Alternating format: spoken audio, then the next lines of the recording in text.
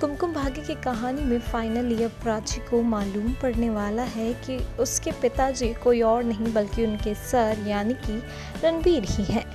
यानी कि upcoming track revelation से भरपूर होने वाला है और काफ़ी ज़्यादा इंटरेस्टिंग स्टोरी दिखाने वाले हैं मेकर्स आपको बता दिया जाए तो अब प्राची के सामने ये सच आ जाएगा, जहाँ पर प्राची ये बात अपनी फ्रेंड के साथ शेयर करेगी। लेकिन प्राची की इन कॉन्वर्सेशन को सुन लेगा रणवीर यानी कि जब प्राची के सामने सच आएगा तो समझ सी बात है कि रणबीर के सामने भी बड़ा खुलासा हो जाएगा। बोल आप कितने एक्साइटेड हैं इस रिवलेशन से भरपूर